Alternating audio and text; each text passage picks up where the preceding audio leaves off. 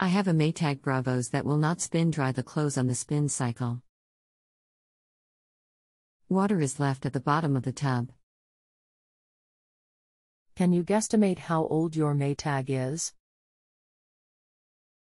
And just to clarify, what's the exact model?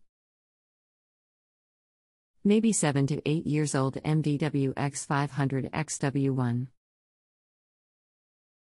Do you plan on doing the work yourself?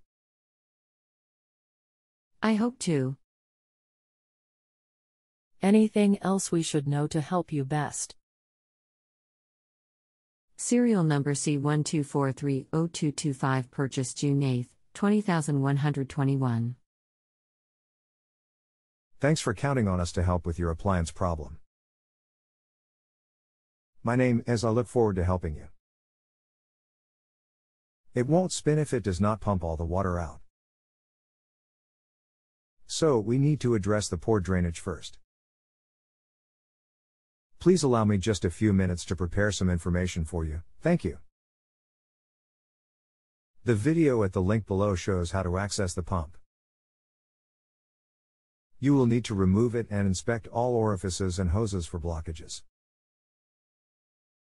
If all clear, then the pump is likely faulty and will need to be replaced. Click here the link below as to the part you will need. If you don't, I receive no credit for my work. The deposit you place stays with the site. You may post back at any time with follow up questions.